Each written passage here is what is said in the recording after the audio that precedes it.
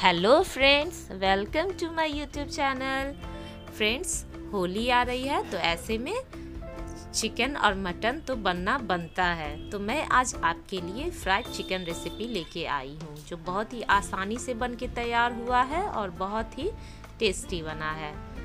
तो चलिए बनाते हैं। यहाँ पे मैंने कढ़ाई में तेल गर्म कर लिया है। उसमें मैंने थोड़ा सा तेजपत्ता, लाल मिर्च और जीरा डाला है। फिर मैं उसमें प्याज ऐड कर रही हूँ। हरा मिर्च भी ऐड कर रही हूँ।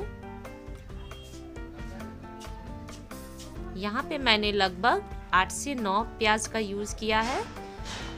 मैं एक के जी चिकन में बना रही हूँ। इसे थोड़ी देर हम चलाएँगे, थोड़ी देर पक जाए, उसके बाद हम चिकन धो के इसमें मिलाएँगे।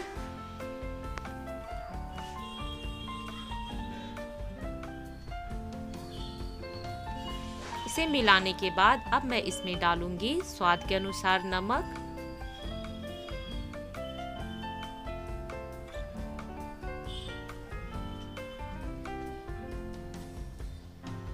हल्दी पाउडर।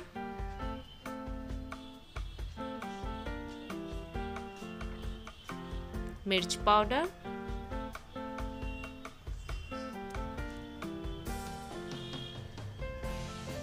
धनिया पाउडर। अब मैंने थोड़ा सा पेस्ट तैयार किया है, जीरा, गोल मिर्च, अदरक और लहसुन का। वो मैं इसमें ऐड करूँगी। मैंने यहाँ पे तीन बड़े बड़े लहसुन लिया था और थोड़ा सा मैंने अदरक का टुकड़ा लिया था। सारे को हम मिलाएँगे। फिर यहाँ पे मैं थोड़ा सा कश्मीरी लाल मिर्च पाउडर वो डाल रही हूँ ताकि इसका कलर थोड़ा सा अच्छा आए।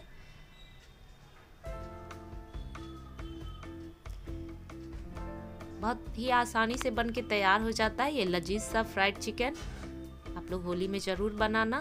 फिर मैंने इसे लगभग 15 से 20 मिनट कुक किया है। फिर आप देख सकते हो फ्रेंड, कितना ही लजीज चिकन, फ्राइड चिकन बन के तैयार हो गया है।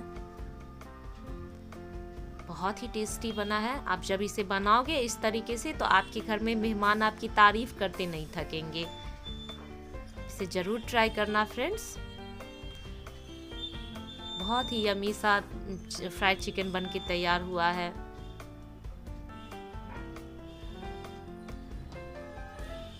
तो इसी के साथ मिलती हूँ नेक्स्ट वीडियो में। नए रेसिपी के साथ फ्रेंड आप सबको मेरी तरफ़ से होली की ढेरों शुभकामनाएँ। Happy Holi friends please keep supporting thanks for watching bye